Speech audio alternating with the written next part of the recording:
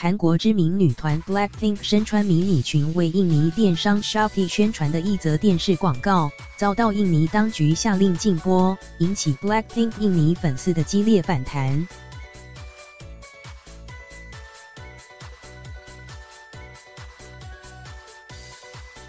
法新社报道，印尼广播委员会 （Indonesian Broadcasting Commission） 昨晚以广告不雅为由，命令国内十一家电视台停播这支广告。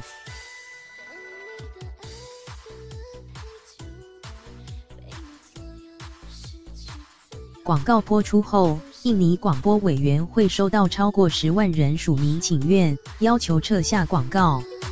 不过，这也引发了一场以牙还牙的行动。撤广告的请愿发起女性面临开除的声浪。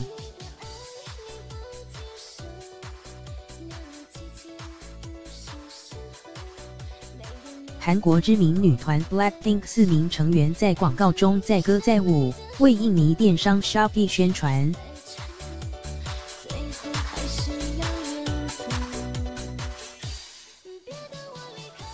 印尼广播委员会表示，这支广告藐视全球最大穆斯林国家的道德规范。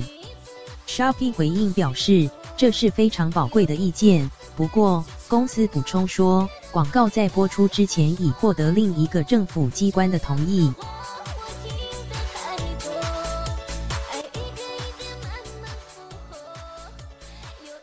印尼禁播 BLACKPINK 广告的决定，已在印尼粉丝圈招致广泛批评。